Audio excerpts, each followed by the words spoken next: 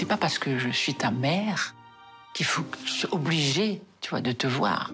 Hein, et bon, et si t'arrive quelque chose, bon, probablement je serais triste. Probablement. Bah oui, quand même. Bon, en fait, j'ai fait des malaises. Et Marco Oui. Euh, j'ai vu un docteur.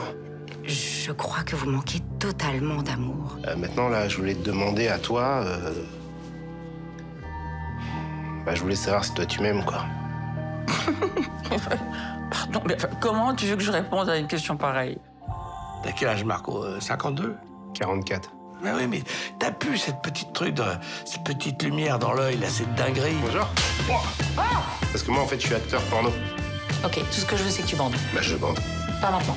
Tu bossais pas près d'une plage à Ajaccio Bah non. Tu fermes les yeux comme ça et t'arrives à imaginer ses yeux, son nez, ses oreilles, sa bouche. Bah c'est que t'es amoureux quoi.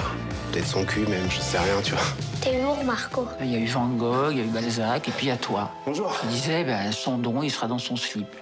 J'ai l'impression que tout part en couille et que ça va être de pire en pire.